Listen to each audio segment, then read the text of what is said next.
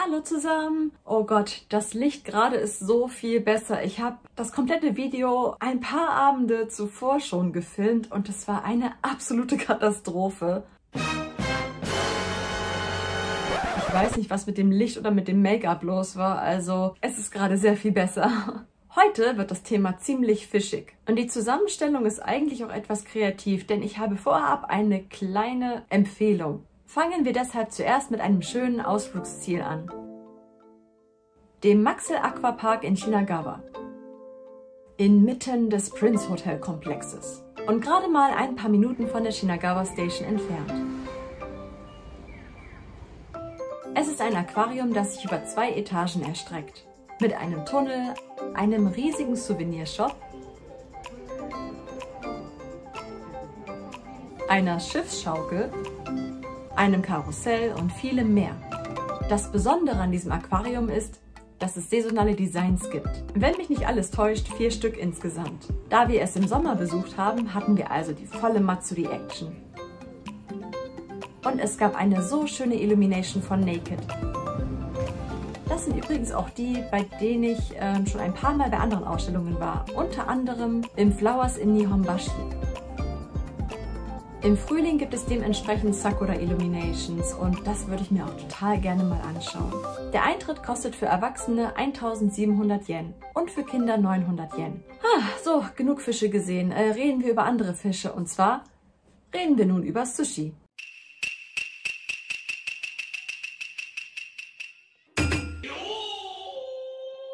eines der bekanntesten japanischen Gerichte überhaupt. Sushi wird in Japan selbst zu verschiedenen Anlässen gegessen sei es auf die schnelle Art zum Mittag in einem Kaiten-Restaurant, auch als Running Sushi bekannt, oder doch eher die feinere Variante, direkt an der Theke vor dem Sushi-Chef in einem etwas gehobeneren Restaurant, oder gar zu Feierlichkeiten im großen Stil.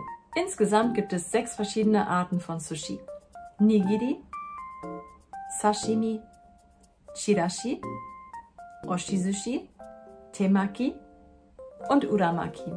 Beliebt sind meist verschiedene Fischsorten. Es gibt sogar auch richtig kreative Varianten mit Frikadellen. Mann, habe ich das Wort Frikadelle lang nicht mehr gesagt. Oder auch Wagyu, Pferdefleisch und Geflügel. Es gibt echt eine ganz große Bandbreite.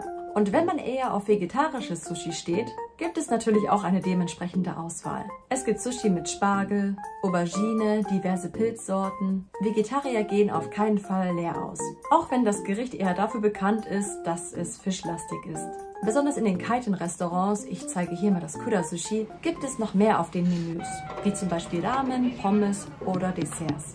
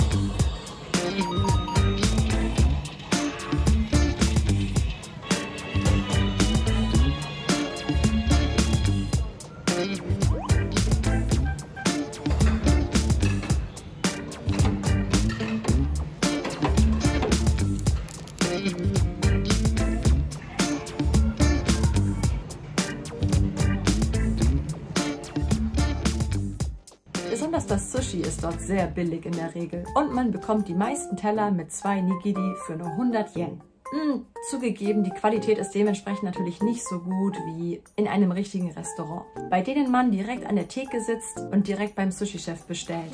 Auch bei den Restaurants hat man, wie beim Kaiten Sushi, die Möglichkeit, Wasser und Tee umsonst zu trinken. Und Wasabi und Ingwer gibt es auch umsonst. Den Ingwer isst man in der Regel zwischendrin, um den Geschmack im Mund zu erfrischen. Wenn man in so ein Restaurant geht, kriegt man in der Regel Holzstäbchen. Und jetzt zeige ich euch mal etwas, was ich gelernt habe. Diesen Move hier kennt ihr bestimmt.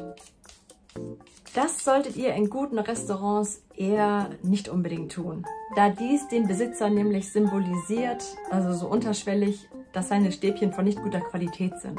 Nigiri isst man entweder mit den Fingern oder mit den Stäbchen. Und wenn man das Stück in die Sojasauce tunkt, meist mit dem Fisch nach unten, denn wenn der Reis zu sehr in die Sojasauce getunkt wird, könnte er nämlich zerfallen. Ich hatte mal auf Twitter rumgefragt, ob ihr mir Fotos von Sushi in Deutschland schicken könntet. Und wow, ich wurde regelrecht überflutet. Und wie man sehen kann, es gibt tatsächlich einige Unterschiede.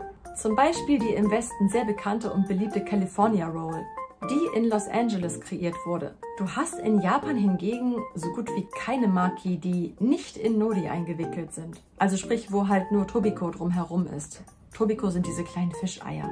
In der Regel hast du die Maki immer mit Nori, mit den Algenblättern eingerollt. Einige deutsche Sushi sind echt wahre Kunstwerke. Und das Foto hier, Moment, so, das hier, ist tatsächlich eines der wenigen, das so authentisch aussieht, dass es glatt aus Japan kommen könnte.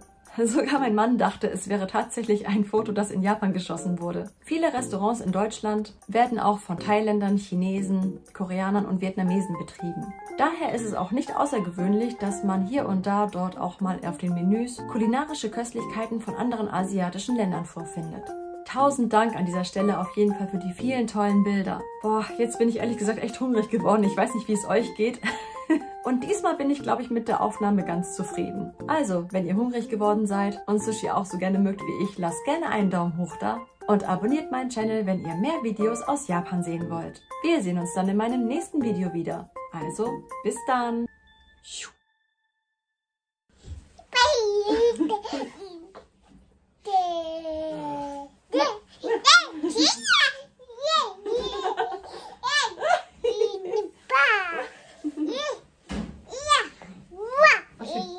はおねと The shielding is getting ready for the Halloween party. Special